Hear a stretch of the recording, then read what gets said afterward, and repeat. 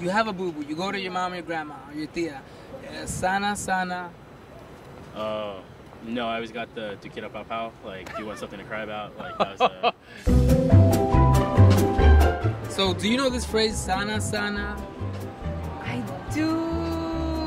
Culito de rana. Si no se sana hoy, se sana mañana. I say sana sana. Culito de rana. Eh. Colita de rana. Colita? Colita. Not culito? I don't know. Again, uh, you, you tell me. I'm used to colita. Colita. Culito. So it's not colita, it's culito. Sana, sana, culito de rana. Culito. Si no te sana hoy, te sana mañana. No es colita. No, culito. Culito. colita de rana.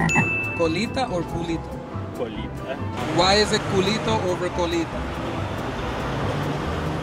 Uh, a culito in Mexico is more like. Isn't that a bad word? No, no. When you say culito with the ito in the back, it fixes it up nicely. Would a rana have a, a culito? Or does it have a colita? Does it have a tail? Does it have both? Sana sana. You heard that, mom? He said culita. I know some Spanish. Nobody Just different.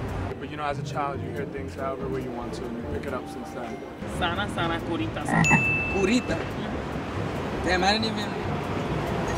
Okay, so we have. See, we Latinos give options.